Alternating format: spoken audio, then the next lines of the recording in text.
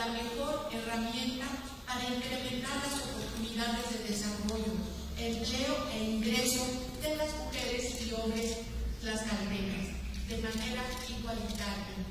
De ahí que las diputadas que integramos la Comisión de Igualdad de Género contra la Trata de Personas estemos buscando sentar las bases para que la educación permita desarrollar las potencialidades y facultades de la sociedad tlaxcalteca, propiciando la consolidación de los procesos democráticos, contribuyendo a la convivencia humana y robustecer la dignidad de las personas de manera igualitaria.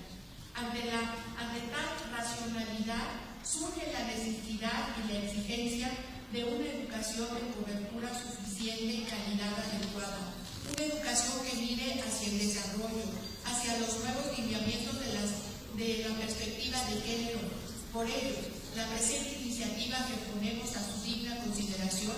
forma parte fundamental del proceso de armonización de esta Comisión de Igualdad